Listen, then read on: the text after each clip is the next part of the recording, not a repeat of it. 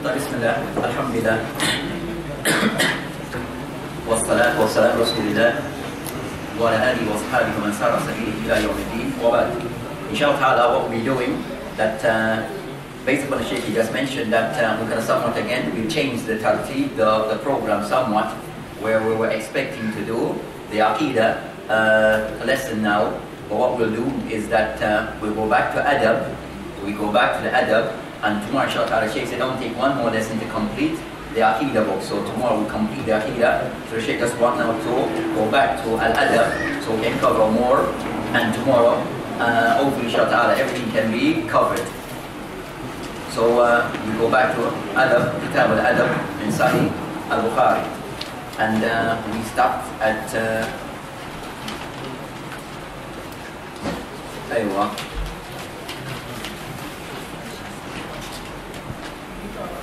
هنا أيوة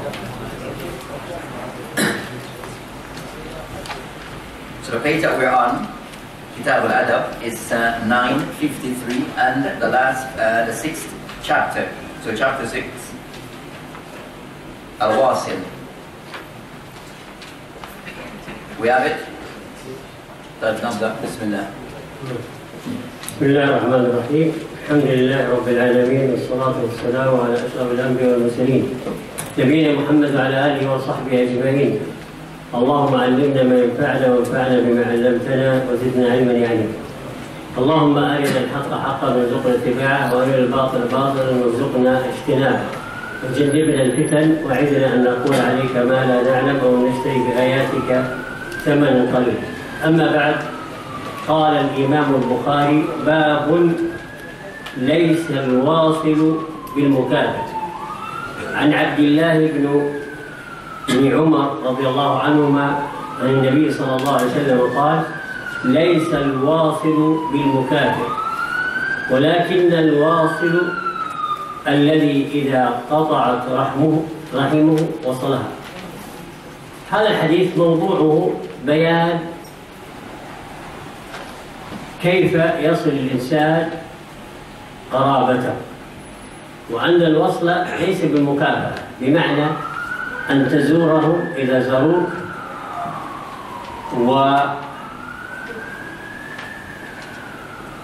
وتعطيهم إذا أعطوك وترضى عليهم إذا رضوا عليك وتحبهم إذا أحبوك وهكذا.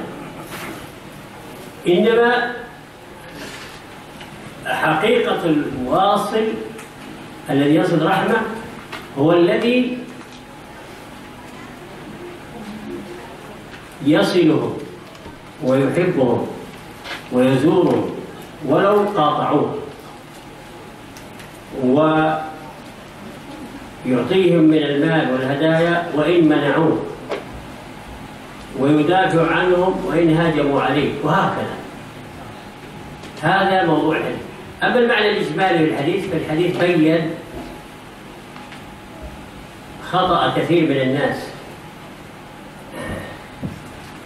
في معاملتهم لأقاربهم فتجد كثير من الناس إذا وجد قريبه أحسن إليه أحسن إليه.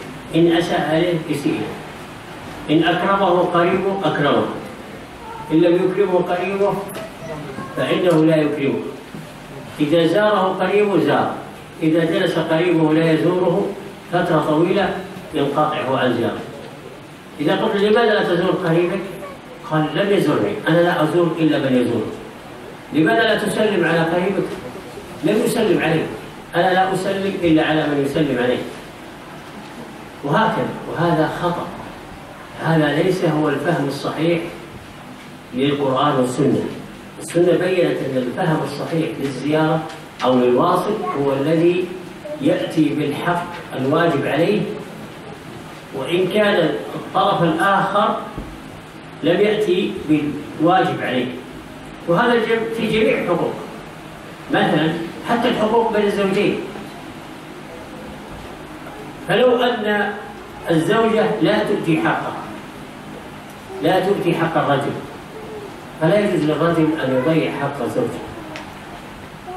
وكذلك الإبل. لو أن الإبل لا يؤدي حق الوالد. فلا يجوز للوالد أن يضيع حق الإبل. والعكس بالعكس. لو كان الإبل يؤدي حقه كاملا. ويضر الوالد في غاية البر لكن الأب لا يؤدي حق الإبل من النفقة وغيره من الواجبات. فهل يقول الابن أنا ما دام أبي لا يفعل معي هذا أنا لا أفعل معه؟ لا. انت ادي الحق الواجب عليك والله سيحاسب المقصر من الطرف الآخر وهذا من اعظم فوائد هذا الحديث نعم Sheikh Hafidullah, he started by praising Allah subhanahu wa ta'ala and uh, sending salutation from the Prophet alayhi salam. And Sheikh mentioned to know that uh, may Allah subhanahu wa ta'ala uh, give us the ability to can uh, identify those things which is uh, the right and also we can uh, implement it. And Allah subhanahu wa ta'ala grants us the ability that we can distinguish those things which is evil and for us to avoid those things. Then uh, the Sheikh uh, uh, Hafidullah, then he went into, he read the hadith that is uh, uh, concerning this particular chapter concerning Kitab al-Adab, hadith, uh, the meaning of the hadith as translated mentioned the hadith concerning narrated an Abdullah, Abdullah ibn Amr anhuma, the Prophet that he said, Al-Wasil is not the one who recompense the good done to him by his relative, but Al-Wasil is the one who keeps good relation with those uh, relatives who have, uh, have, have broken the bond of kinship with them, with him. So the Shaykh mentions, so as for this particular hadith, as for the study of this particular hadith, so the first thing is regarding what's the topic of this particular hadith. The topic of this particular hadith is to clarify concerning that uh, how does a person go about and a person going about concerning that you know, maintaining good relation, how the person go about maintaining good relation with his uh, his relatives.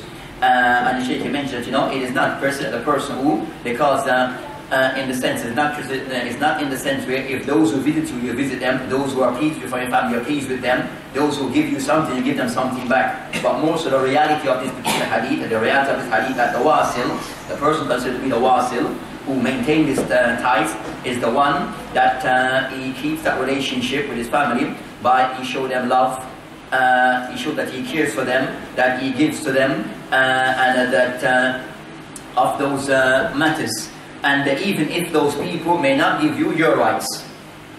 So the wasil is the one who maintain, he fulfill his relationship and his duty to his family, even if they do not give you what you're deserving. They somewhat fall short in giving you uh, your uh, rights. So that's the person who's considered to be the wasil in, uh, in reality.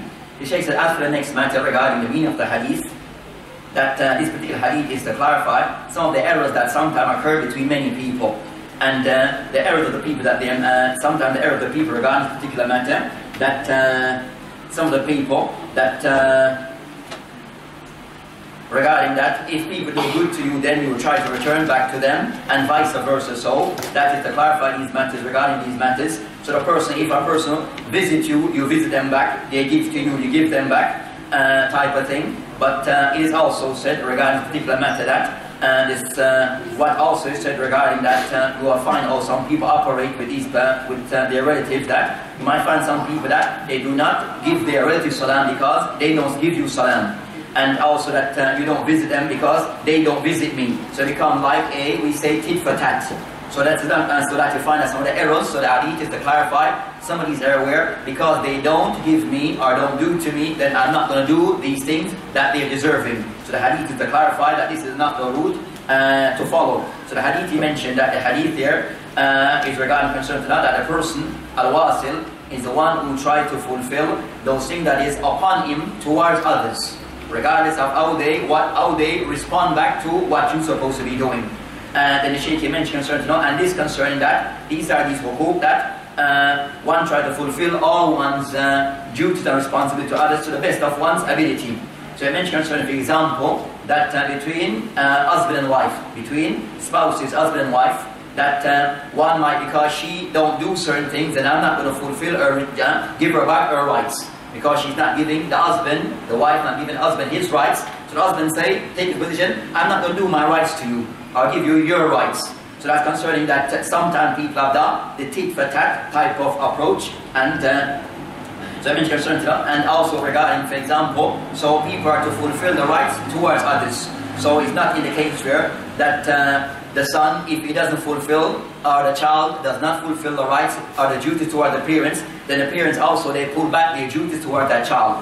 uh, and also vice versa. So all should try to fulfill their duties uh, regardless and uh, to uh, regardless the, if regardless the other side do not uh, fulfill fulfill their duty. And I mentioned even uh, like example that the the the parent to the child, regardless the, child, uh, the father may not per se uh, spend uh, on his child the way that he should. He owes back, giving nafaqah, uh, sustenance or spending upon the child.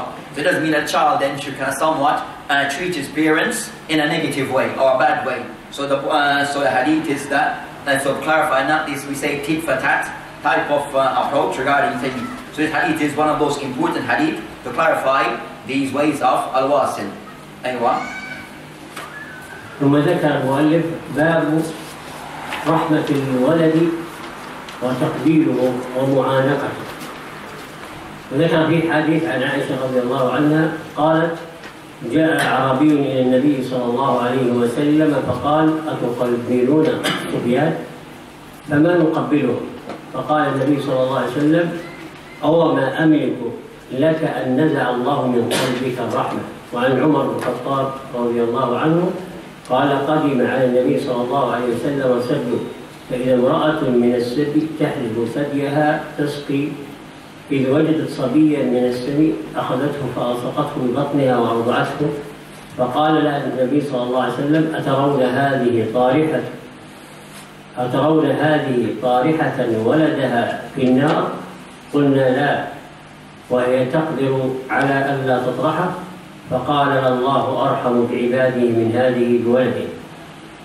هذين الحديثين العظيمين ذكرها المؤلف لبيان موضوع وهو أن من الهدي الإسلامي العطف على الأولاد ورحمة الأولاد والشفقة عليهم ومحبتهم والتلطف معهم. وهذا من أسلوب التربية العظيم الذي دعا له النبي صلى الله عليه وسلم. وخاصة في الجزيرة العربية فإن العرب أهل الجزيرة عندهم نوع من الغلظة والشدة. فيتكبرون ويتأنفون من أن يقبل الرجل ابنه. فلما جاء هذا الرجل الأعرابي أي الذي يعيش في الصحراء فاستغرب أن رأى النبي صلى الله عليه وسلم يقبل الصبيان. فقال مستنكرا مستفهما استفهام إنكاري أتقبلون الصبيان. فما نقبله؟ يعني نحن لا نقبله. ونرى هذا منقصة وهذا من الجهل. وليس هذا من المنقص لأن هذا موافق للفطرة. والإسلام لا يعارض الفطرة كما لكم أكثر من مرة من الأصول العظيمة الثابتة أن الإسلام لا يعارض العقل ولا يعارض الفطرة الصحيحة ولا يعارض الواقع الملموس. أبدا مستحيل. فكل ما في الإسلام من أحكام وكل ما في الإسلام من هدي فهو توافق مع العقل ومتوافق مع الفطرة والواقع. لكن هذا الأعراب وهؤلاء خالفوا الفطرة السليمة. فاستغرب هذا الأمر فرد عليه النبي صلى الله عليه وسلم قال أو ما أملك؟ يعني وما أملك؟ أن نزع الله من قلبك الرحمة. يعني وماذا أصنع؟ وماذا أفعل؟ إذا كان الله قد نزع عن قلبك الرحمة. لأن الأعراف فيه نوع من الغضب لكن الإسلام على كل حال هذبهم. فكانوا على الهدي الإسلامي لما اهتدوا للإسلام وعرفوا الأحكام الشرعية. فكانوا قادة الأمة. وكانوا على خير عظيم. فهذا الحديث فيه من الفوائد بيان رحمة النبي صلى الله عليه وسلم وشفقته وتواضعه ومحبته واحترامه للصبيان حتى لو لم يكونوا أبناءه من الصبيان من سائر الناس. وفيه أيضا من الفوائد بيان أن هذا من الصلة الواجبة ومن الحقوق الواجبة. على الأب لابنه لأن كما أن هناك حقوق للابن على الأب فهناك حقوق للأب على الابن. وكما أن هناك حقوق للزوجة على الزوج فكذلك حقوق للزوج على الزوجة. وهكذا. وفي الحديث الآخر بيان ما زرعه الله سبحانه وتعالى ووضعه وفطر عليه الأم. فالأم مفطورة غريزة على محبة ابنها. ولو خيرت بين ذهاب روحها أو هلاك روحها وهلاك ابنها لاختارت هلاك روحها على هلاك ابنها. فهذه غريزة جعلها الله تعالى في هذه الأنثى من محبة الأم وهذا مما يبين لنا أهمية الأم ومنزلة الأم ومكانة الأم. ولذلك لما رأى النبي صلى الله عليه وسلم هذه الصورة رأى أما فقدت ابنها. فكانت تبحث عنه في بعد المعركة في السبي. لأن الأطفال يسبون. فبحثت وهي تبكي وتجتهد وقد ظهر عليها الإعياء والتعب تبحث بين الصبيان عن ابنها. فلما وجد وجدته أخذته فضمته إلى صدرها وسقته من ثديها. وهي صورة من صور المحبة العظيمة من الأم. ولو كانت غير مسلمة لابنها فهذه غريزة جعلها الله تعالى في هذه الأنثى. فلما رأى النبي صلى الله عليه وسلم هذا الأمر سأل أصحابه قالوا أترون أن هذه المرأة تقذف ابنها في النار؟ يعني ترمي ابنها في مهلكة وتجعله يموت ويهلك؟ فقالوا لا يا رسول الله. ما دام لها طريق يعني تتخلص فأعطاهم أيضا درسا في العقيدة. من هذه الصورة ومن هذه الحادثة استغلها الرسول صلى الله عليه وسلم وأعطاهم درس في العقيدة لبيان عظمة رحمة الرب سبحانه وتعالى. فقال لله يعني إن الله لأشد رحمة بعباده من رحمة هذه بولدها وهذا أيضا درس في العقيدة يفيدنا أولا إثبات صفة الرحمة لله كما يعتقدها السنة وأنها صفة تليق بجلاله كما عرفنا في باب التوحيد من غير تكييف ولا تمثيل ولا تعطيل ولا تحريف ويفيدنا فائدة أخرى عدم اليأس أو القنوط من رحمة الله مهما بلغت ذنوبه يعني المسلم يجب عليه حتى ولا الكافر يجب عليه ألا ييأس من رحمة الله. بعض الناس في زمن لما كان كافرا وفعل ذنوبا عظيمة وفعل خطايا عظيمة فكر أنه إن أسلم لا يقبل الله الإسلام منه. لأنه فعل وفعل وفعل وفعل. فجاء إلى النبي صلى الله عليه وسلم. يسأله هذا السؤال. قال رسول الله أنا فعلت فعلت فعلت, فعلت. كل شيء فعلته من الجرائم. حتى أنني قتلت عمك أحب الناس إليك. أحب الناس إلى رسول الله. عمه حمزة رضي الله عنه قتله هذا الرجل. فقال هل لي توبة هل أستطيع أن أسلم أو خلاص ما في أمل. أنا يائس رحمته فنزل فيه قوله تعالى قل يا عبادي الذين أسرفوا على أنفسهم لا تقنطوا من رحمة الله إن الله يغفر الذنوب المسلم يجب عليه لا ييأس. ولا حتى الكافر لا ييأس من رحمة الله. ويعلم أنه ما دام في زمن المهلة يعني لا يزال حي لم تبلغ روح الحلقوم يعلم أن باب التوبة مفتوح. مهما فعل ذنوب مهما فعل خطايا فالله يفرح بتوبة عبده أشد من فرح أحدنا لو كان في صحراء ليس فيها ماء صحراء قاحلة. ليس فيها ماء. وكان عنده ناقة أو راحلة فيها طعام وشراب.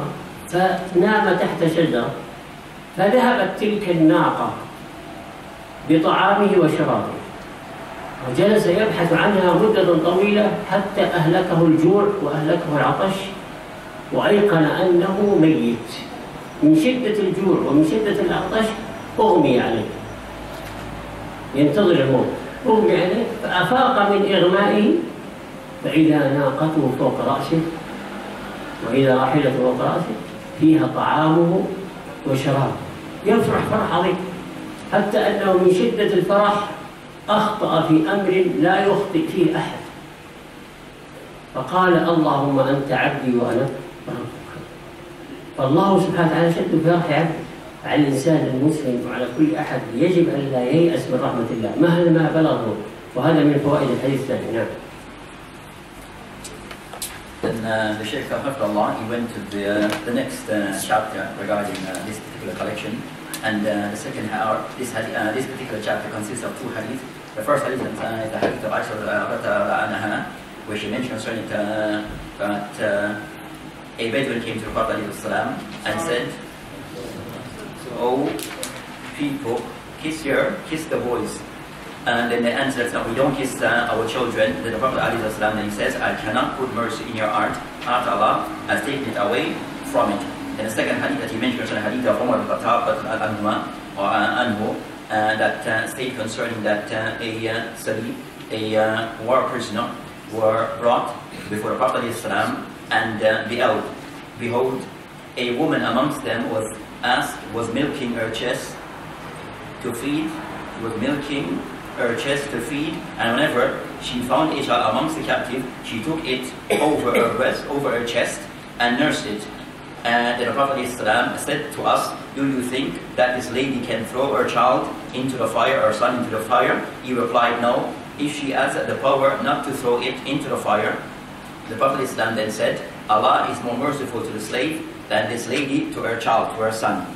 So those are two hadith concerning this particular uh, chapter, and the chapter heading that he mentioned here concerned that, you know, uh, to be merciful to one's children, kiss them and embrace them, as in the hadith uh, mentioned.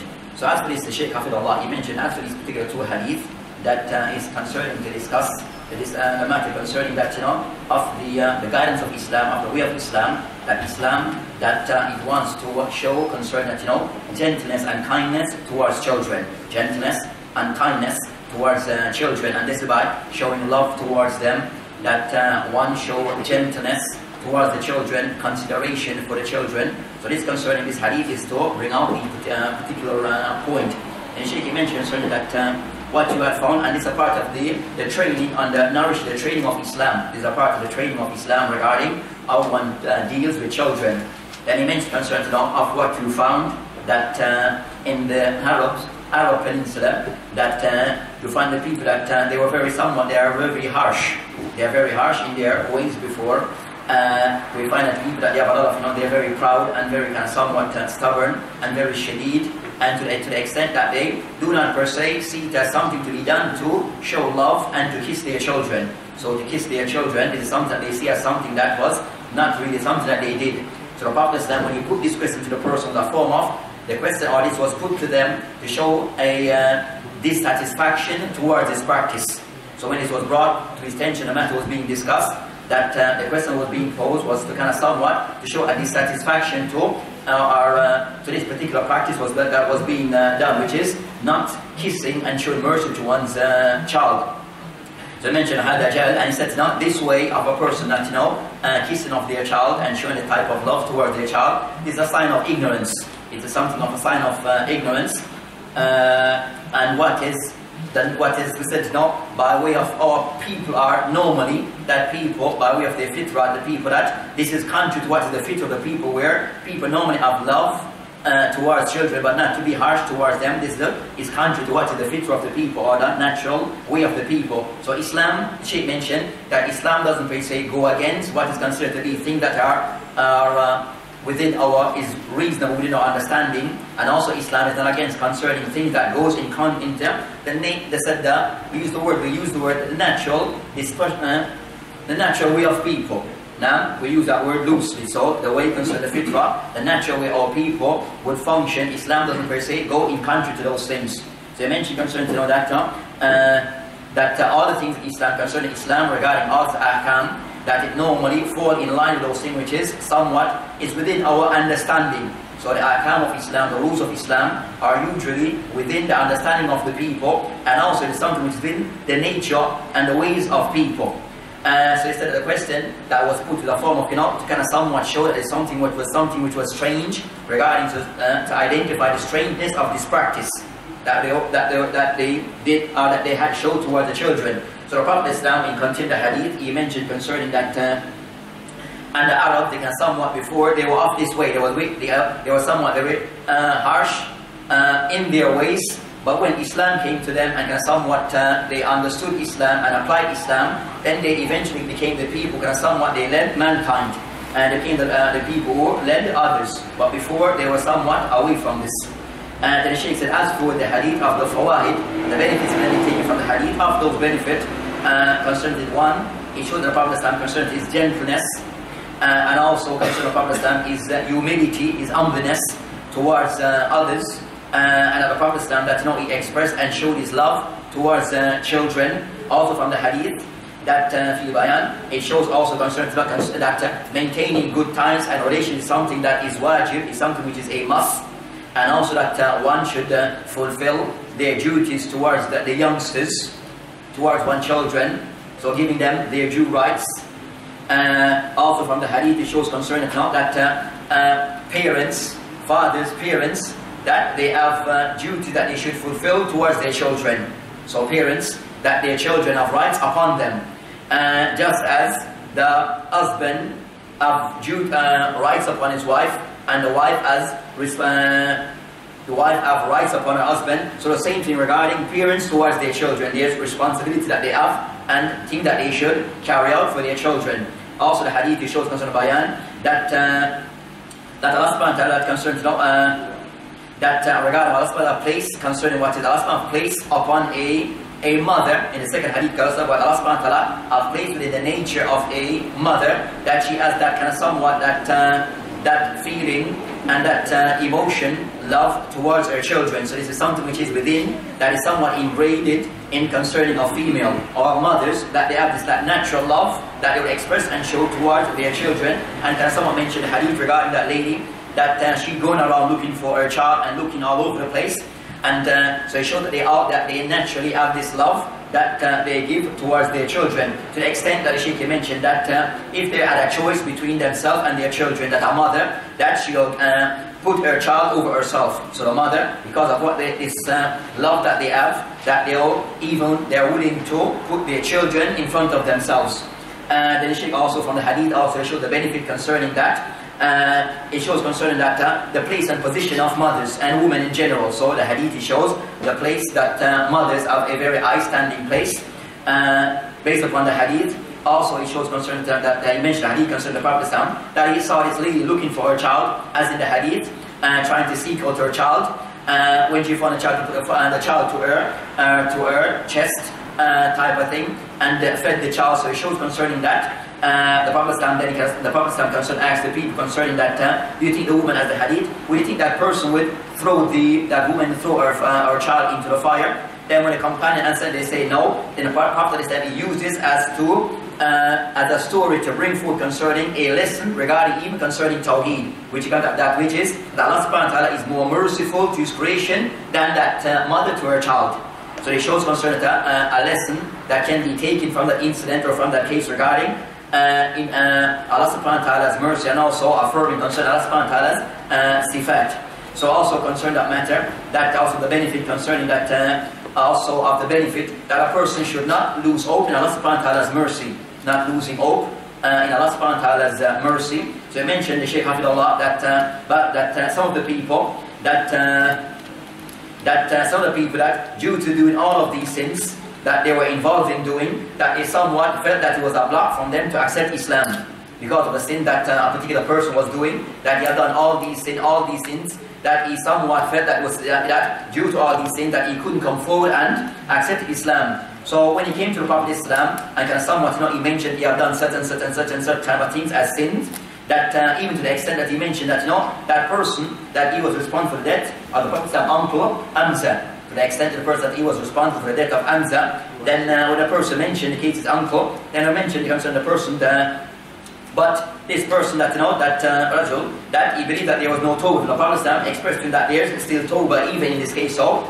not per se then the verse, but a person that he felt that there was no way that he could compensate. Then the ayah was revealed regarding concerning Ya Ibadi, that all my servants, that you should not lose hope in my mercy, uh, that Allah subhanahu wa ta'ala is the one who forgive all sins, or the uh, meaning, or sorry, the ayah meaning that the servant who should not lose hope in Allah subhanahu wa ta'ala, and Allah subhanahu wa ta'ala, He forgives all sin. So this was regarding that, uh, showing that the person should not per se lose open Allah subhanahu wa ta'ala's uh, mercy, regardless of the person's uh, level and degree of sin.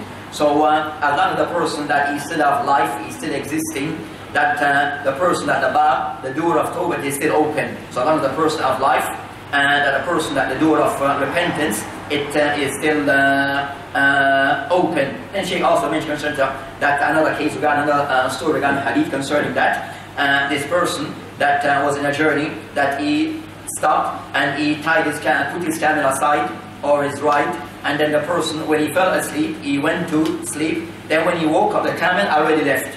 The camel somewhat uh, went away when the person woke up and the person he was looking for the camel all over the place the person was getting tired was getting uh, hungry and all those things. So the person like you know reached near death close to death. So he can, he somewhat pass out from near death uh, uh, in seeking of his camel, then when a person that he woke up, when he uh, woke up again, uh, or regained consciousness later on, uh, then the person, he found the camel right there. He found the camel that he was looking for. He was right there when the camel somewhat was lost before. Then the person out of his uh, joy, and this uh, out of his joy, and this is to intertwined. Allah subhanahu wa that Allah subhanahu wa is um, happy, we use the word happy, concerning that when a, a servant, he makes repentance. So type of the hadith that the person out of his happiness that he found is uh, his camel. The person mentioned, uh, I make a, a, great error, but the person says that uh, that Allah subhanahu wa ta'ala, you Allah subhanahu wa ta'ala, that you are my slave.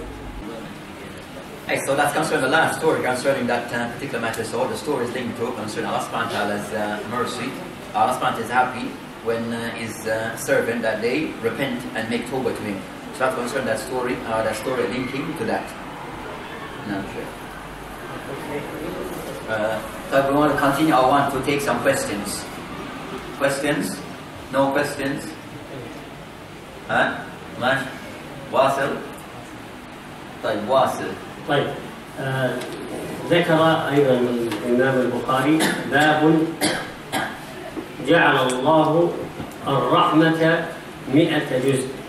عن أبي هريرة رضي الله عنه قال سمعت رسول الله صلى الله عليه وسلم يقول جعل الله الرحمة مئة جزء فأمسك عنده تسعة وتسعين جزءا وأنزل في الأرض جزءا. واحدا فمن ذلك الجزء يتراحم الخلق حتى ترفع ترفع الفرس حافرها عن ولدها خشية أن تصيبه. طيب أنا اللي أسأل ما ما تبغون تسألون. ما موضوع الحديث؟ طيب الشيخ I'm going to read a hadith أنا أنا أتابع الحديث ثم نسأل. Uh, for the hadith that uh, we go to the next chapter mentioned that Allah subhanahu wa ta'ala divide mercy into a hundred parts. The hadith mentioned concerning that uh, and uh, Abu Hurairah uh, Abu anhu that uh, the Messenger of Allah that he heard the Prophet Islam saying that Allah has divided mercy into 100 parts and he has kept 99 parts with him and sent down one part on earth. And because of that one single part, his creatures are merciful to each other, so that even the mere lift of his hoof, where is this thing now?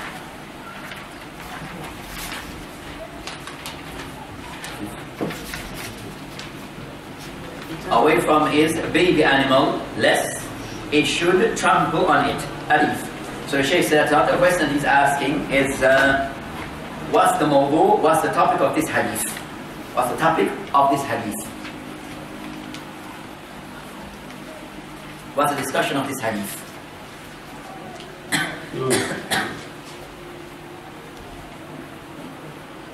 بقية ما أعرفون They wrote down right hand, so we can see them. If you wouldn't them the right hand, huh? so we can see ها them. تفضل The first, the first is between the mother and the child. Mercy between The mother and the child. ولا أن يبين له الرحمة بين الأم والابن أو أولاده. نعم ساعة رحمة الله نعم And so he said a response was given that uh, that is the book of Allah subhanahu wa ta'ala, uh, wide mercy. بيان يعني عظمة رحمة الله هذا الموضوع الحديث.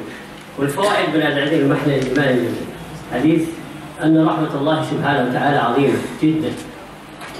وأن الله سبحانه وتعالى بين وبين النبي صلى الله عليه وسلم أن هذه الرحمات التي نراها في الأرض وما يقع من رحمة الأم بولدها وما يقع أحيانا من رحمة الإنسان بالإنسان أو رحمة الحيوان حتى ببعض الحيوان كرحمة الأم من الحيوان حتى ترفع حافرها عن ابنها خشية أن تقع أو تطأه. كل ذلك هذه الرحمات العظيمة كلها ما هي إلا جزء. وأيضا من الفوائد في الحديث بيان عظمة يوم القيامة وما فيه من الأهوال كذلك أيضا من فوائد هذا الحديث بيان فضل الله سبحانه وتعالى عباده ومنته وأنه سبحانه وتعالى رحمن رحيم يغفر للذنوب.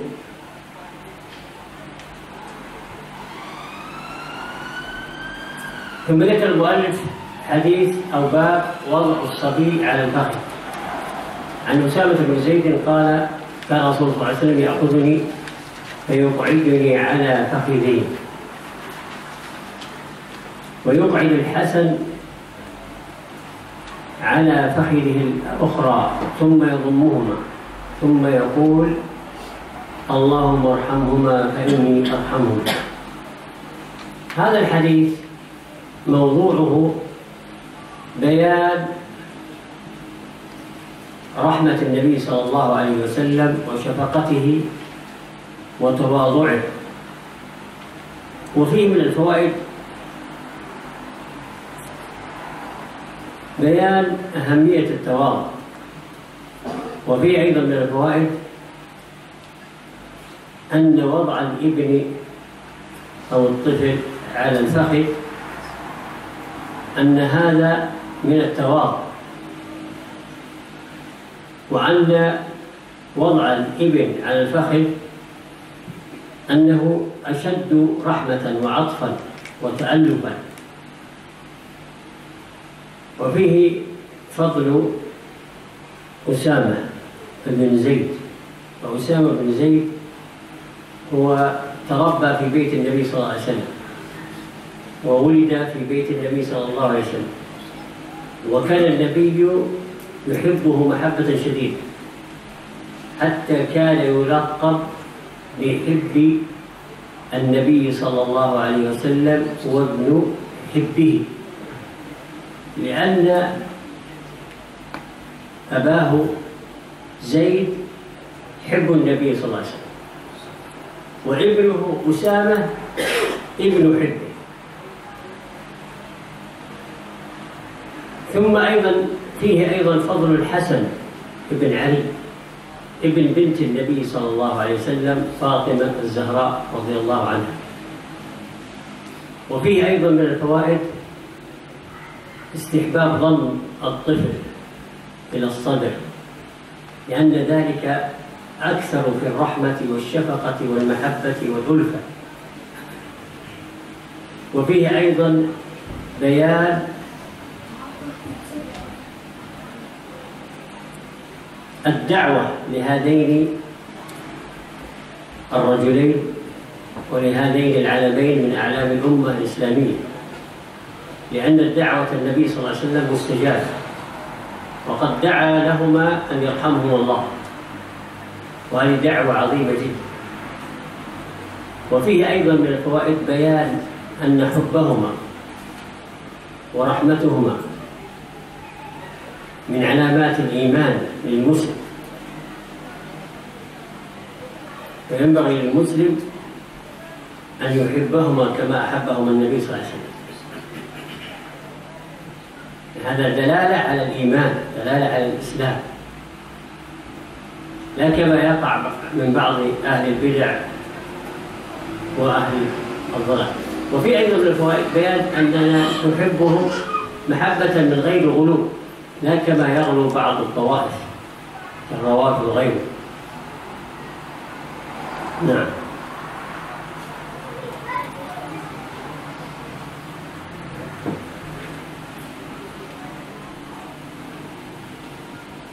Then uh, the Shaykh Abdullah, then he went into the, the next uh, hadith. Where is it? Uh, yes, I mentioned next to concern putting the child under the thigh. I mentioned the hadith of, uh, that's the one, or the hadith before, isn't it? Uh, this thing is killing this. Well, this one of Usama and the one before, isn't it? read the one before as well. But uh, 2016. I read. It's the one, it's the the eight and nine. Okay. Okay, قرأت هذا. نعم. يعني طيب. The one after we read concerning the hadith of uh, ترجمت خلاص Okay, ترجمت هذا. سألنا عن الناس. Hey. 2016. Hey, so the hadith concerning the first hadith of uh, Abu Hurairah ta'ala anhu regarding that uh, Allah subhanahu wa ta'ala divided Mr. Rahman into a hundred parts, only one person sent to the earth. Uh, as for the general uh, explanation of that, that, uh, that particular hadith, that's hadith we're on, I you have explained that one yet, because you went to. Yeah. Uh, so I we didn't explain one of Abu Hurairah, right, isn't it? Uh, so I mentioned something in this particular hadith of Abu Hurairah regarding that uh, uh, Ar-Rahman has been divided into X amount of parts, 100 parts, which is from the hadith that we discussed concerning one that is Mawdu, it should concern Allah and wa ta'ala wide mercy. So the great um, uh, bounty of Allah and ta'ala's mercy is very wide and far, and also it mentions that uh, that it shows concern to know that uh, what we see that what occurred between us as human beings on the earth and what occurred between animals and all this uh, what between ourselves and earth that this is just that type of showing of mercy. This is just one portion of the great of the portions of Rahman. It's only just one portion that is sent to earth but with this that you find that the people they live in a certain way that animals to and people how we live on earth. So that's just from just one portion of that Rahman that have been sent to earth so also she can mention that from the hadith concerning that uh, uh, this is only from one portion regarding what have been sent of the rahmah of Allah subhanahu wa ta'ala. And of the benefit of the hadith concerning that uh, it shows concerning that no the great uh, importance regarding uh, Yawm al-Qiyamah regarding matters uh, so uh, someone I like concerning the greatness concerning Yawm al-Qiyamah. Also from the hadith it shows concerning that uh, uh, that it shows concerning the follow Allah subhanahu wa ta'ala that Allah subhanahu wa ta'ala uh, favored his servants Allah subhanahu wa ta'ala favors his servants and uh, Allah subhanahu wa ta'ala is the most uh, uh, merciful and the most uh, forgiving and the one who forgives of sin. So that's concerning that particular hadith. And Shaykh after that he went to the next hadith, which is the hadith of uh, narrated by Usama bin Zayd. Anhuma, and he said the Messenger of Allah subhanahu wa ta'ala uh, used to put me, meaning on one of his thigh, and put Hassan ibn Ali on the other thigh, and he and then embrace us and say, Oh Allah subhanahu wa ta'ala, please be merciful to them as I am merciful to them. So that's concerning the next hadith. And after that particular hadith, he says the mawdu of the hadith. Uh, Imam said, clarify concerning the Prophet Islam is mercy, is mercy towards others, that being a merciful person. Also shows concern concerning the Prophet, but the Prophet Islam is uh, tawadu, also is level of uh, humility and humbleness, and also shafaqa is also that no, is level of uh, gentleness or kindness. They mentioned that uh, of the benefit of the hadith, that also to clarify concern that uh, uh, then, uh, the Prophet Islam uh, uh, uh again we say, humbleness and humility. Then also the hadith also is to clarify regarding concern that no, the permissibility regarding uh, one placing one child on one side, so to rest the child on the side, it proves that permissibility. Uh, and that also is a sign of a person being having uh, humility and humbleness uh, also, a proof concerning that, uh, uh, and also that a person bringing the child and like uh, hugging them and the likes, that it proves the permissibility of those acts. Also, the hadith it proved concerning that uh, the, the virtue of uh, Usama bin Zayd. So it also proved the virtue of Usama bin Zayd, and he was the one who kind of grew up in the Prophet Islam house. So he grew up and was nourished in the Prophet Islam uh, house. Then he mentioned also he showed the virtue of his father, as they were the ones who were beloved to the Prophet Islam, that they were beloved to the Prophet Islam, and they used to be referred to as such. Also, it shows concerning the virtue of Hassan ibn Ali. Also, it shows his virtue. Uh, his virtue. Also, the hadith it shows concerning his istihbab. It shows also that uh, again the permissibility or that something which is preferred, uh, highly likely to be uh, uh, like to be done with a person can embrace his child and show him love. Uh, also, it shows concern that no, that it shows that not making supplication for those two persons, which is Usama ibn Zayd and also Ali. So supplicating for them, uh, and the Prophet that he supplicated for them. Also, uh, the hadith it shows of the benefit concern and also that it's a sign of iman that one show love to those two. So having love for those two also is a sign of iman and it's something expected by way of the Muslim that he should have love towards those two and the Prophet that he loved them. Also it shows concern to note that uh, and uh, having love for them is an indication of one's iman and a sign of a person's Islam.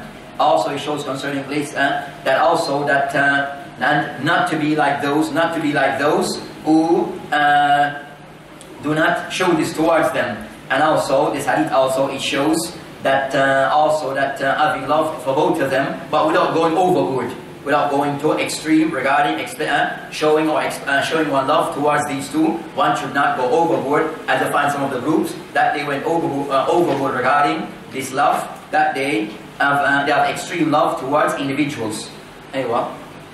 ثم ذكر المؤلف باب رحمة الناس والبهائم وذكر في عن ابي هريره رضي الله عنه قال قام رسول الله صلى الله عليه وسلم في الصلاه وقمنا معه فقام اعرابي وهو في الصلاه اللهم ارحمني ومحمدا ولا ترحم معنا أحدا. فلما سلم النبي صلى الله عليه وسلم قال للاعرابي لقد حجرت واسعا وعن النعمان بن بشير رضي الله عنهما قال قال رسول الله صلى الله عليه وسلم ترى المؤمنين في توادهم وتراحمهم في تراحمهم وتوادهم وتعاطفهم كمثل الجسد الواحد. كمثل الجسد إذا اشتكى عضو أو إذا اشتكى عضوا تداعى له سائر جسده بالسهر والحمى وعن أنس بن مالك رضي الله عنه قال عن النبي صلى الله عليه وسلم قال ما من مسلم غرس غرسا فأكل منه إنسان أو دابة إلا كان له به صدقة. وعن جرير بن عبد الله الب- البجلي رضي الله عنه عن النبي صلى الله عليه وسلم قال من لا من لا يرحم لا يرحم. هذه الأحاديث كلها تبين أمر عظيم جدا. أن دين الإسلام دين الرحمة. هذه الأحاديث وهي في كتاب البخاري الذي هو أصح كتاب بعد كتاب الله تبين هذا الأصل العظيم.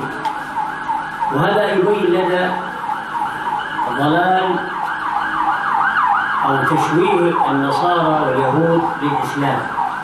حينما قال الإسلام دين الإسلام أو دين الإسلام دين الإرهاب. ودين العنف ودين القتل لا. هذا غير صحيح. دين الإسلام دين الرحمة والشفقة ودين الرحمة حتى في الحيوان. الحيوان الإسلام هو دين الرحمة حتى بالحيوان ولذلك النبي صلى الله عليه وسلم ما من مسلم غرس غرسا فأكل منه إنسان أو دابة إلا كان له في صدقة.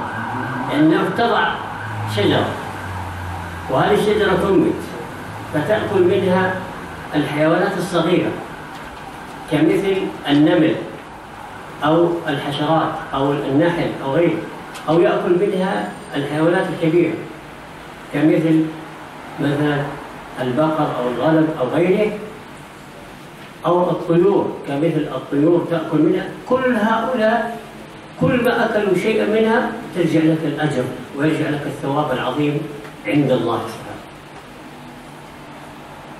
فهذه الأحاديث دلت على هذا الأصل العظيم.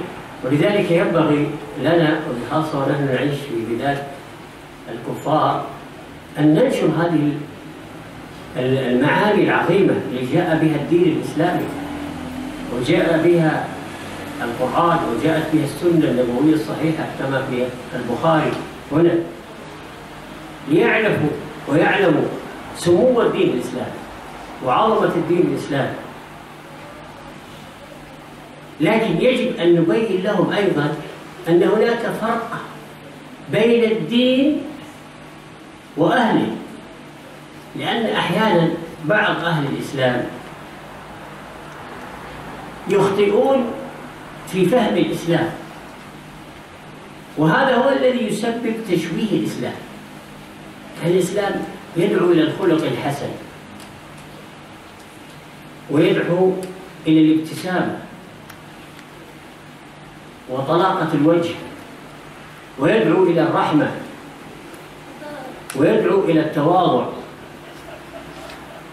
ولذلك الجنة لا يدخلها إنسان متكبر. إذا كان إنسان متكبر لا يدخل الجنة. ما يدخل إلا أهل التواضع. ويدعو إلى أخلاق عظيمة جدا. يدعو إلى الصدق. يدعو إلى الأمانة. الأمانة عرضت على السماوات والأرض فرفضت أن تحملها وحملها الإنسان. المؤمن أشد حملا للأمانة. فهو صادق مع نفسه وصادق مع ربه وصادق مع الناس أجمعين.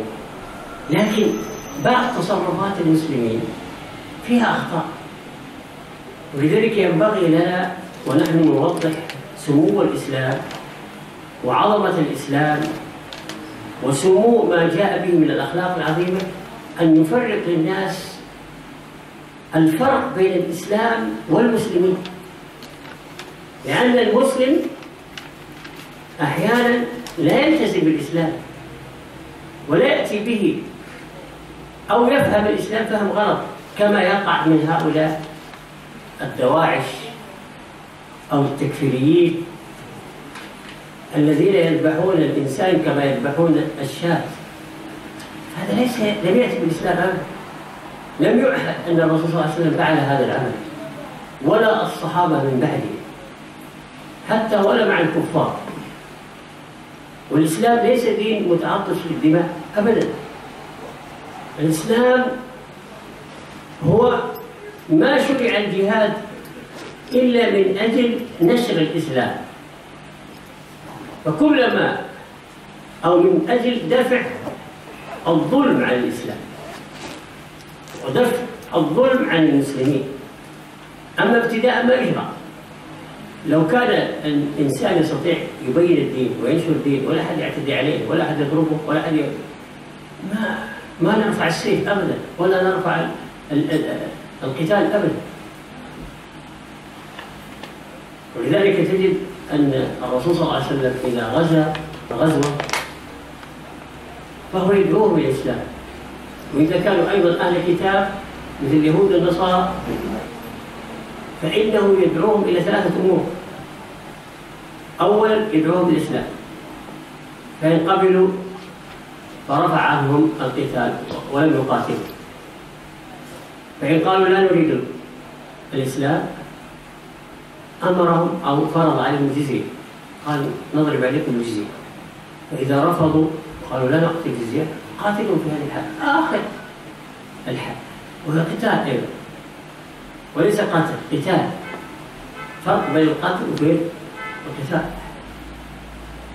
فإذا نجد أن الإسلام دين الرحمة ولذلك المؤلف باب ذكر قال باب رحمة الناس. وعبارة البخاري جميلة قال باب رحمة الناس. ولم يقل باب رحمة المسلمين. الإسلام مو باب رحمة للمسلمين بل باب رحمة لجميع الناس المسلم والكافر.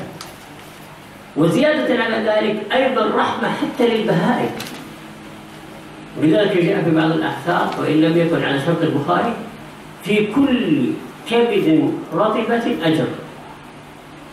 وغفر الله لامرأة زانية كانت تزني وتفعل الزنا لأنها سقت كلبا. كلب. وجدته في الصحراء عطشان يكاد يهلك من شدة العطش. فنزلت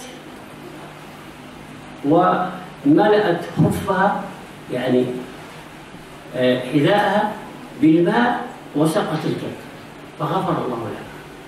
غفر لها هذه الذنوب العظيمة لأجل الكلب إذا كان الإسلام يرحم هذا الكلب ويغفر ذنوب الإنسان بسببه فما بالك بالإنسان؟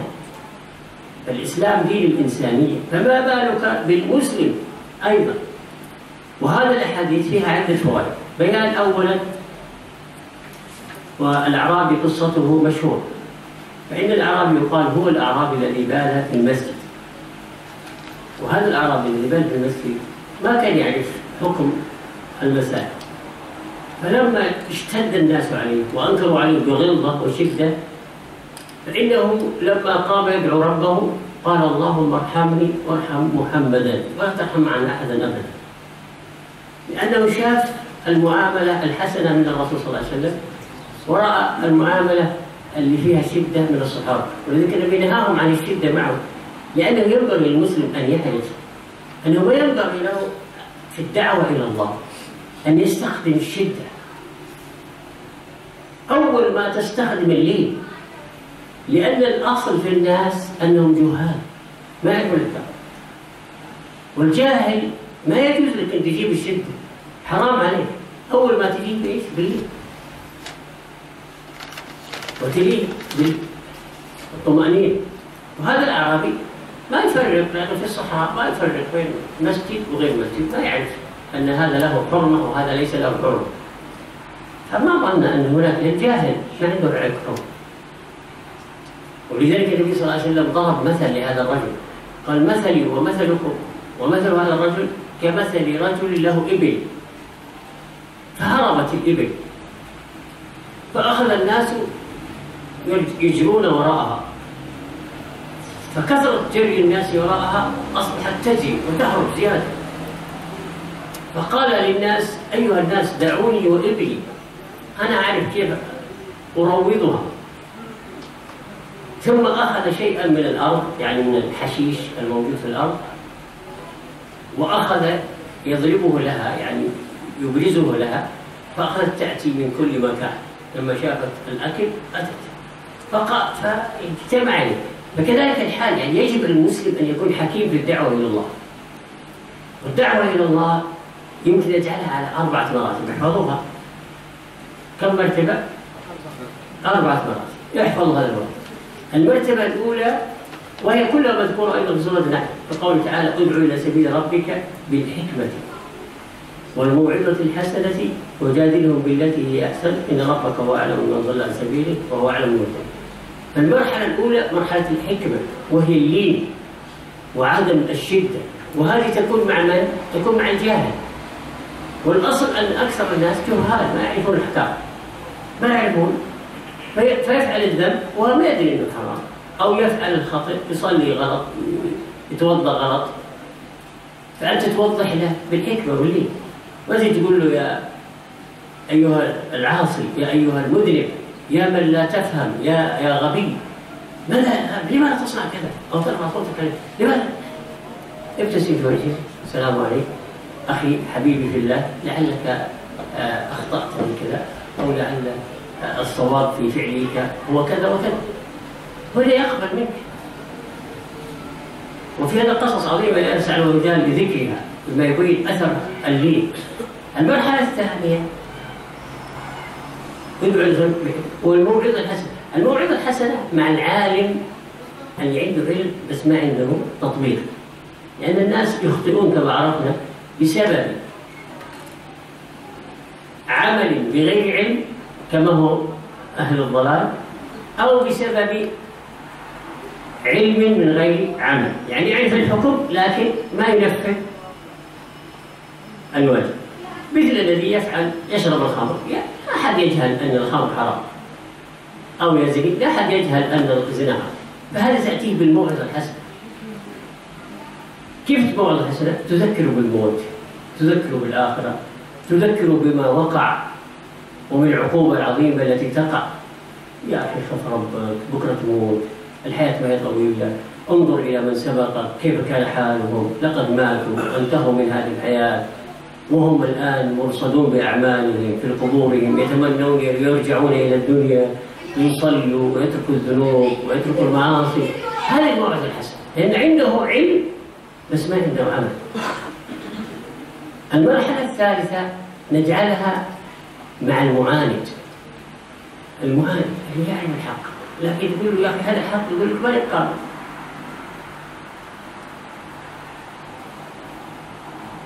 المرحلة الثالثة لا المرحلة الثالثة لا غير هذه المرحلة الثالثة نجعلها مع صاحب الشبهة. مع صاحب الشبهة. اللي يريد الحق لكن ما يعرف الطريق. زي الأعمى. يبحث عن الطريق. فأنت تمسك بيده توجيه الطريق مثل مثل الأعمى. فهذا إيش؟ تجادله بالتي هي أحسن. الجدال. تقول له هذا اللي أنت فاهمه غلط. أنت ما فهمت النص القرآني ما فهمت النص النبوي. فهمه الصحيح هو كيت وكيت المرحلة الرابعة مع المعاند. المعاند هذا ليس له إلا أن يعني إن كان لك سلطة تستخدم معه القوة. كأن تكون أب تستخدم مع الإبن القوة. أو تكون مثلا والي حاكم تستخدم معه القوة. إذا ما كان له قوة خلاص. إن ربك هو أعلم بمن ضل عن سبيل وهو أعلم. أعطه الحق وقل هذا الذي تعمله غلط ولا يجوز حرام السلام عليكم. لكن لو صرت صاحب سلطة افعل معه كما يفعل صاحب السلطة مثل ما فعل الرسول صلى الله عليه وسلم مع من أخطأ ومن وقع بالخطأ. مثل إقامة الحدود على الزنات وشارب الخمر وكذا. أقام النبي عليه الحد هذه مراحل الدعوة إلى الله نعم Okay. Go for the run now. So this is the Muqtas. Uh, so Sheikh Abdullah, you mentioned we, we read, did read the hadith. We didn't read the hadith, huh? So you added, so uh, rather than go through them to make things kind of somewhat. So I have to just read them. Huh?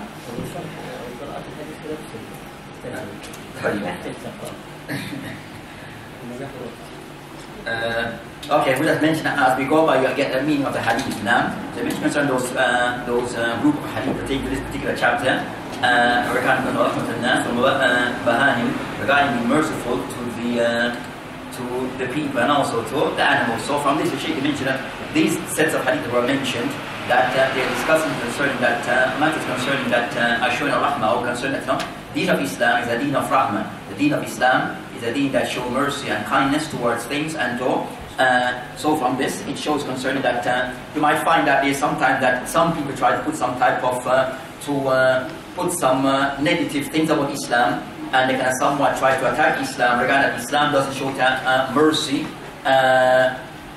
Due to how sometimes in the Muslim function about Islam, but in essence or the teaching that Islam is a religion of mercy and that it concentrates on, on those things, even to the extent that Islam shows mercy even to animals. So even animals that uh, they are given uh, mercy uh, based upon the teaching of Islam and given a place.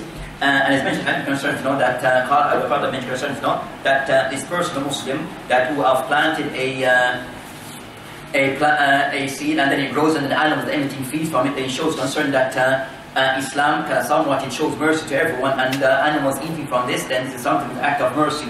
So of those who benefit from this uh, uh, plant that is grown, that uh, you find even the young, the small animals, small creatures, they will benefit and eat from it. So there's a uh, benefit for that. Also, the larger creatures will eat from this, and also there's a benefit from this. Uh, so the person doing so, it shows that the, the reward the person attain from uh, those animals eating from that plant that the person have grown, then there's a lot of reward that comes with this. Also mentioned concerning that uh, Alina.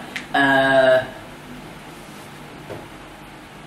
that especially concerning us who uh, also mentioned concerning uh, for us who live in this particular country or in these countries concerning lands of the non-Muslim, that we can somewhat try to show these things to the, to the non-Muslims, so to bring these things to their attention regarding that you know, Islam is a religion of mercy, uh, this, uh, it shows kindness towards even to the creatures, so to bring these things to the attention of the people who live in these lands who may have a misunderstanding regarding certain matters of Islam. Uh, so in trying to clarify these things, that uh, Islam is mer- merciful to all and even to the creatures, we must kind of somewhat try to bring those things to the attention of those people.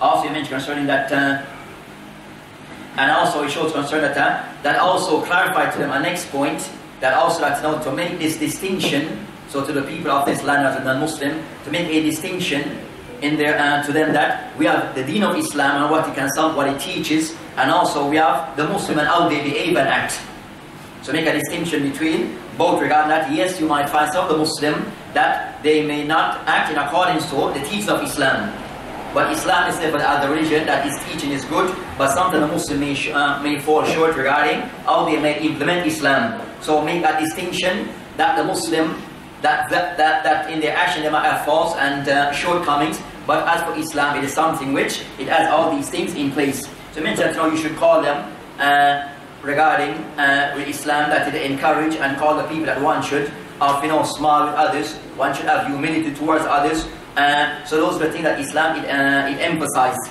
Also, the Shaykh mentioned that uh, of these matters that uh, that uh, Islam it also encourage and call towards the people being of those people who are truthful, that those people whom that uh, they are trustworthy. This also Islam it encourage concerning these matters that even that the amana was placed upon heaven and earth and it refused, but insan they accept it. So we mentioned concerning the Muslim in general, should be a one who's truthful in speech, uh, even though you might find some Muslim, that uh, so Shaykh go back to that uh, that to make that distinction regarding Islam as what it teaches, uh, and also the Muslim as sometimes they may have their own deficiency. So you might find a person is a Muslim, but he doesn't really apply Islam. He doesn't se give much attention to his own religion. You might find a Muslim that they're doing things that they uh, should not. So make a distinction between both. And for example, mention concerning those people from ISIS, uh, Daesh and whatever name they refer to, that also that those people sometimes give a misrepresentation of Islam or they misrepresent Islam. Uh, due to those people can somewhat approach Islam where that it, it uh, gives the impression that Islam is about taking life and spreading blood. Uh, so people give a misinterpretation, a misunderstanding regarding Islam. Regarding uh, Islam coming over it, it is something which is a bloodthirsty type of uh, religion. But that's just an error from some of the Muslims. Uh, the Shaykh mentioned that no, regarding this matter concerned, know that jihad is purpose, that is not about just for killing, but jihad that is purpose and intent uh, behind it, uh, of his intent behind it, that jihad is a form of to protect Islam. So that's something where it is a thing that will be done, the first uh, thing that to be done, but it comes after. So Islam, then the Shaykh mentioned that, uh, that you find that uh, the Prophet Islam regarding that, uh, the Prophet Islam regarding that, uh, how you approach concerning dawah to others, that he has like three levels. So regarding dawah towards others, that is of uh, three uh, levels. The first concerning invitation, the dawah to the people, meaning non-Muslim, that first that Islam is put to them, for them to accept Islam. If they refuse, so the first step would be that you uh, explain to them Islam, clarify to them Islam, and put Islam to them. If they refuse, then they go to the next level, which is a jizya, which them kind of somewhat in an Islamic state, they were given up in an Islamic state that would be they, they would pay a form of like tax. They will pay a form of tax and they will be safe. Then if they refuse this, then the next step would be, the third would be then, then they can be fought. Then they can be fought. So those are the maratib concerning ad-dawah. And then the Shaykh Hafidullah, he mentioned that other thing that we should pay attention to, which is that Imam Bukhari rahimahullah, the author Imam Bukhari rahimahullah, in the chapter mentioned concerning rahmat, rahmatun nas, that regard concerning that, being merciful to mankind. He didn't say that having mercy just to the Muslim. So this mercy is something which is universal. This, uh, uh, mercy is something universal uh, to all, not specific to only uh, uh, some. Then also mentioned concerning that uh, the case concerning that there's this woman that Allah subhanahu wa ta'ala forgave her because this lady that she saw like a dog that he was there wanting water but and was thirsty. So she took her shoes, got the water from the well, and fed the dog. And by this, Allah subhanahu wa ta'ala, He uh, forgave her. And this concerned the, the mercy. So he said, no, if that's that out now, and that Islam encouraged mercy uh, in all cases and circumstances. And so Islam is a religion of mercy and showing kindness towards uh, other. Then also the Shaykh Hafidullah he mentioned regarding the case of the Arab, that, that uh, Bedouin person that uh, urinated in a part of the masjid. And the people like somewhat, you know, went on, uh, uh, attacked him. Then at the end of it, the Prophet, uh, the Prophet Islam corrected the person, corrected the situation. Then he mentioned to Allah subhanahu wa ta'ala be merciful to me and to the Prophet and like to, uh, and not the others. So, uh, then it shows also that type of lips. Sometimes uh, the Arab they can be a little bit uh, harsh regarding certain things. And I'm sure he mentioned concerning that uh, uh, the Muslim that uh, he needs to know concerning that these matters concerning a Muslim Adam, uh, matters concerning that in giving of dawah, in presenting Islam to others, that a person shouldn't initially come over in a way that seems harsh. So concerning giving dawah, the Muslim should understand that uh, in the initial stage, that a person giving dawah, not to come over in a very harsh and stern way, uh, but rather initially in giving dawah, presenting Islam to the people, that a person should do uh, lean, which is the person being uh, somewhat, uh, uh, what I call lean, uh, soft type of thing, the person coming away, soft, kind manner. Uh, so that's concerning concerning giving a dawah. So you said concerning Arab that uh, that he didn't understand that kind of somewhat know those levels and those type of uh, things that you have to be mindful of. Then he mentioned concerning that uh, another case regarding this particular person that uh, he had his animal, animal kind of somewhat is evil, his uh, camera went, went off. So other people like going after the, evil, trying to get uh, to catch the camel, and was still running about. So the person said, "No, leave him. I know best my animal. Leave him. I'll bring him back." So the person had a way of, you know, when he wants the animal to come, he can somewhat, you know, get some food, get some stuff, and the animal just come to the person. So uh, the Sheikh mentioned you know, using hikmah regarding things. So the importance regarding that a person have to know how to present things uh, in a way which is a way of hikmah. And the dawah, it requires a person who's hakim. So giving dawah, it uh, requires a person who he can use uh, hikmah, which is wisdom, putting things in their right place and order. So, we did the Sheikh mentioned also that you know, the hikmah, the hakim of, uh, uh, is of uh, uh Muslim hakim, that's of uh, four levels, four Arba maratiba, dawa of Arba maratib. So the person who's hakim in giving dawa, then he has to take into account these four levels. Uh, the first level is what? Al-hikmah. So the person using like wisdom, so that person who's a hakim is the person who can put these things in play or in place. So the first thing using hikmah, being wise, being sensible. Uh, in the sense of the person, he used gentleness, softness, he used uh, wisdom in how he approached him, especially the people who are ignorant. Especially, and Sheikh mentioned, you know, in giving dawah, most of the people that you know confront or face first would be people who are ignorant to those people because of their ignorance. That then, uh, then the person would use this method in approaching them. As in the case, for example, a person who may be uh, making wudu but is doing it incorrectly, making errors. So the person in being hakim, being wise, then a person wouldn't jump on his case immediately. So he does you know, go to him using smile, gentleness, Yahi, my brother, my beloved, that you know, maybe you know, the way that is being done, uh, that's maybe not the correct way, but in the correct way, then but use it in a way showing hikmah. Now, so the person in the initial stage of the dawah that he uh, approached with uh, hikmah, the second level mentioned, al-mawt al-hasana, the person in the second stage, then the person using a good way of, ex- uh, is the word, exhortation, that's the word, huh? Invitation, that's my word, huh?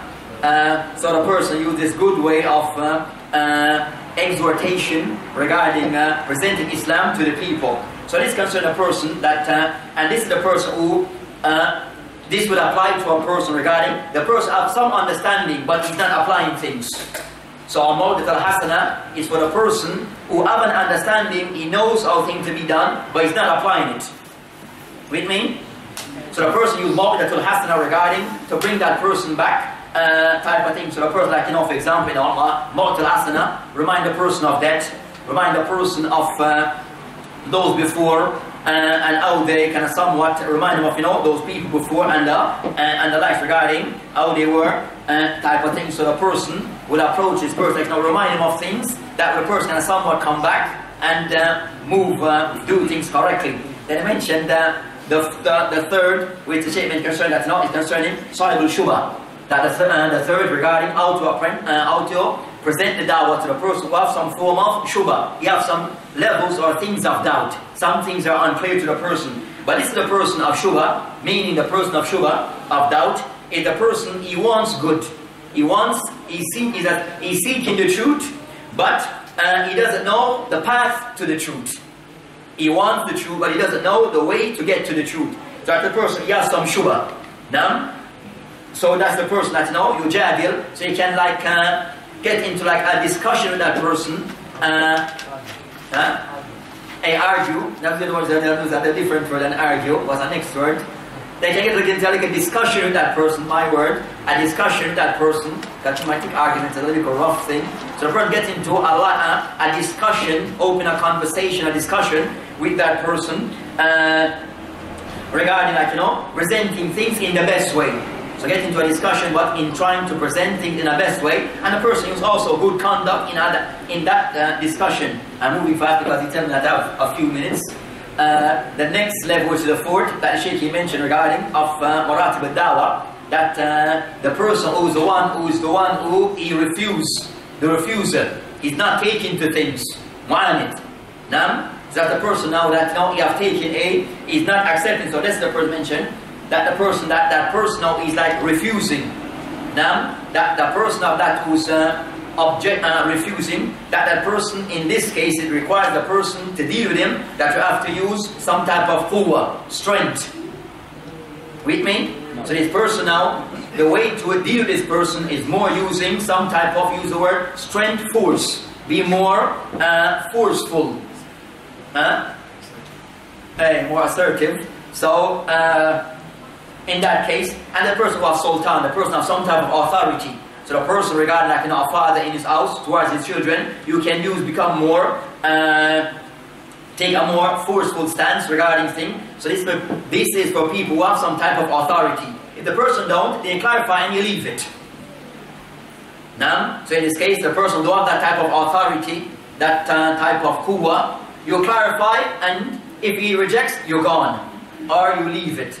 Now, so that's concerning uh, those matters in a shell. Uh, the first one, hikmah. So,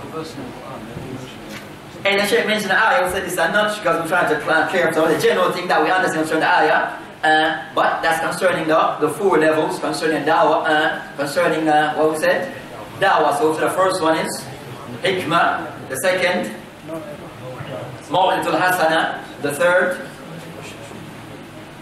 الجدال الحسن The third أي يجادل I'll go that way Amen. With من So that's what comes to the side with shubha. Now, then we have the fourth. That's the one who wants the truth, but he doesn't know the path. Hey, so six. what's the, the guidelines for this? ضابط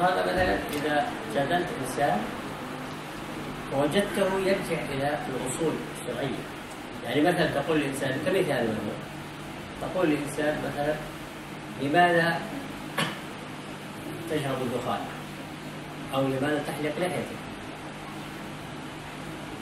فتجد عنده شبهة ترد عليه. لكن لما يجي يقول لك لأن الناس تشرب الدخان لأن الناس تحلق لحاهم هذا ما جادل بالتي هي أحسن. هذا الجادل بإيش؟ بالهوى، الذي هي احسن هو اللي عنده قرآن أو عنده سنة ما فهم مع مرادها. ما فهم مرادها. أما الذي يجادل في الهوى الناس كلها تشرب الخمر. الناس كلها تزني. ها؟ هذا ليس مجددا.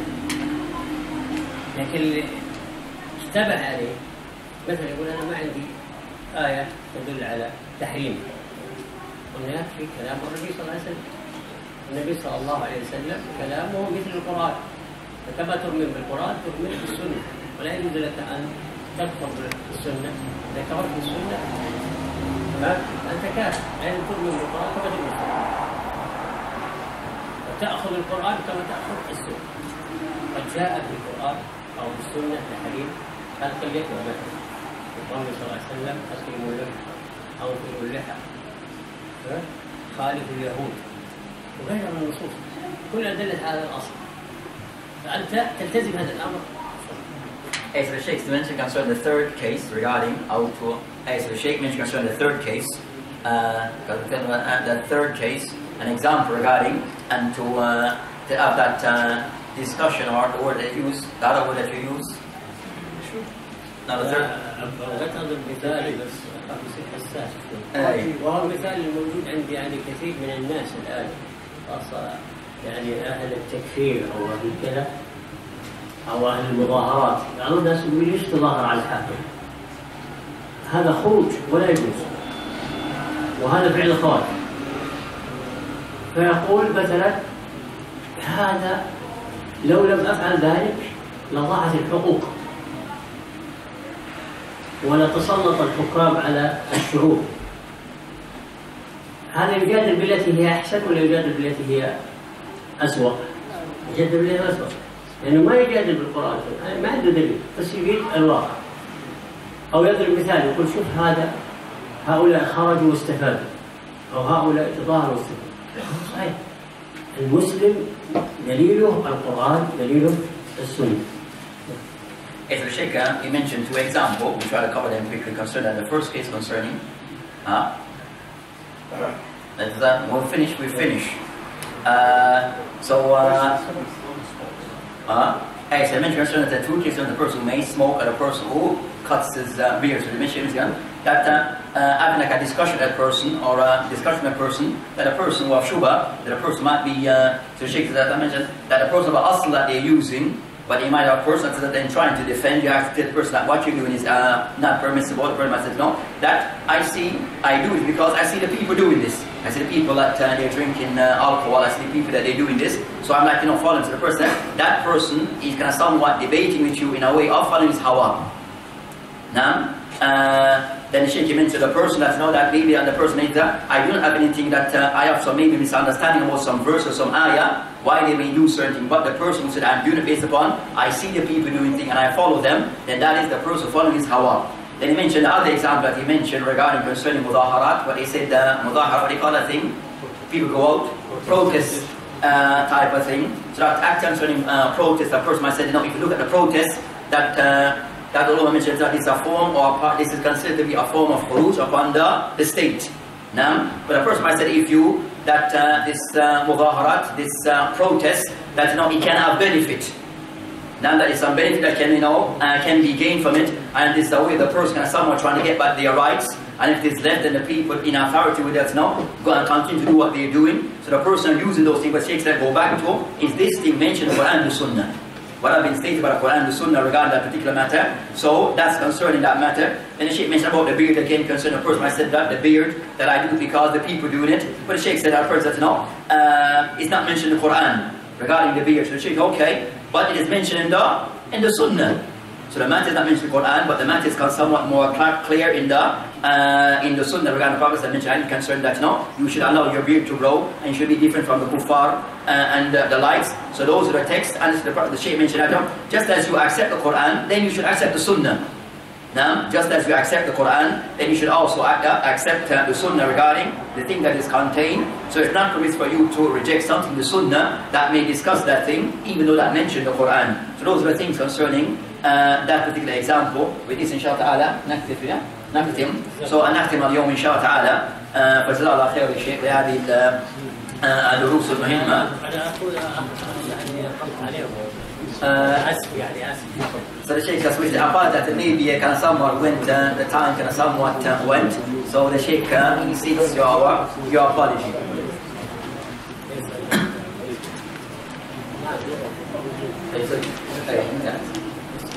عندك سؤال؟ طيب تفضل.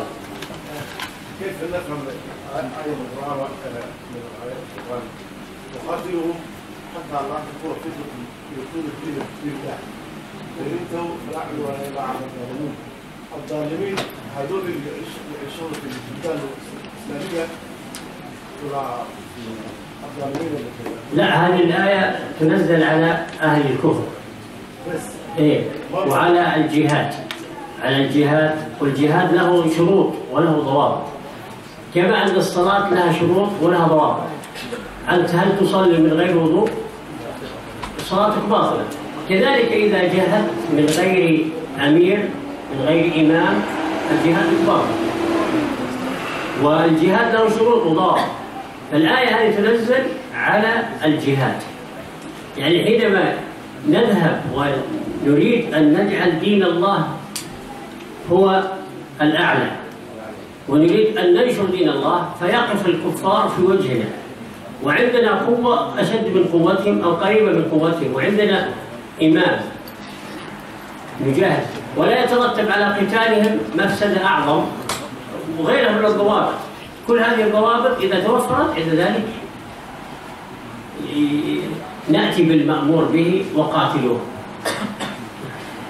Uh, the question was some matter with the ayah regarding uh, jihad, so the Sheikh can somewhat respond in uh, brief concern no? that uh, the ayah that the, the person mentioned, I didn't hear clearly mentioned, but regarding matters of jihad, the Sheikh said as to jihad, that has conditions and guidelines, just as wudu have conditions and guidelines. So a person, example, cannot uh, pray unless in the state of tahara or of wudu. So just with that concerning jihad, it has all these guidelines. So these they are conditions that uh, needs to be fulfilled or met for it to be uh, to be implemented. So Sheikh mentioned so there's different different of those conditions concerning Ana having an uh, imam. Also things to be considered regarding jihad of his condition that regarding concern that now looking to see that uh, the uh, the strength of the Muslim compared to the strength of the kuffar if they can somewhat outdo you or are they e- equal to you or less than you so those things have to be taken into consideration uh, also regarding al, uh, uh, al, uh, al jihad that also regarding concerns law, it will not also bring about a mafsada, something which is a greater evil. Now, so all those things, etc., these are just some of those guidelines regarding jihad, and there's others, but all these things have to be looked into and taken into consideration. Then if those things that concerning all the conditions and guidelines are in place, then one can come to now putting and applying the rules or apply that particular matter. So with that, inshallah ta'ala. بس ما أدري اخف سقط على الاخوه الوقت آه. يكون بسيط- بسيط. سؤال سريع. إن شاء الله إن شاء الله. سأكون سريع إن شاء الله. تعالى شيخ، اخشى الاخوه يزعلون علينا تأخرنا عليهم. ما الفرق بين آم، أهل الكتاب والمشركين؟ يعني أنا أقصد هل النصارى من من المشركين أم لا؟ لأن نستطيع أن ناخذ من أهل الكتاب ولا نستطيع أن ناخذ من المشركين. نعم ال- ال- النصارى الذين ينتسبون للنصرانية واليهود الذين ينتسبون لليهودية. يعني كتابهم التوراة اليهود والنصارى كتابهم الإنجيل. فهؤلاء حكمهم وما ذكر الله تعالى في كتابه أنهم أهل الكتاب. أنهم أهل الكتاب. تحل ذبائحهم ويجوز الزواج من نسائهم هذا هو ال- الذي ورد في القرآن. فنفس النصارى الموجودين في زمن النبي صلى الله عليه وسلم واليهود الموجودون في زمن النبي صلى الله عليه وسلم هم أيضا الموجودون في هذا الزمان والموجودون في كل الازمنه فذبائحهم حلال ونساءهم حلال كما نص ال- القرآن على ذلك. Yes, the question is the last question, this is the last question type, that uh, where we had concern, the question concerns not what's the difference between the mushrik and Ahlul Kitab. Then it can somewhat, the question can somewhat spin off to an next bit concerning that, with this distinction between the mushrik and Ahlul Kitab, who are they, Yahud and Nasara, uh, that can you go and not eat from them and, and the likes. So the Sheikh uh, mentioned concerning, now as for concerning that uh, uh, Al Kitab, that they are the, those people whom that one those people who affiliate the religion of uh, Yahud of Judaism, and uh, Nasara are those people who affiliate themselves to Christianity. Uh, and as they are as the ahkam are those things that pertain to them as mentioned in the Quran, then those those things apply to them. So those two group, those people affiliated to those religion, then the ahkam that relates to them, then uh, for those uh, then those ahkam as are those things that mentioned in the Quran, that it applies to them. So uh, of those things that applies to them, uh, in regard that no, we are allowed to eat from their meat, also that we are allowed to marry from their females. So these are things that apply, and those people of that description that they were present are the same people who were somewhat present at the time of the Prophet Islam, and those people still remain until today, that are referred to as Jews, Jews, and, Jews and Christians. Now, that's in a nutshell. وبالله التوفيق وهذا السبيل والآخر والحمد لله العالمين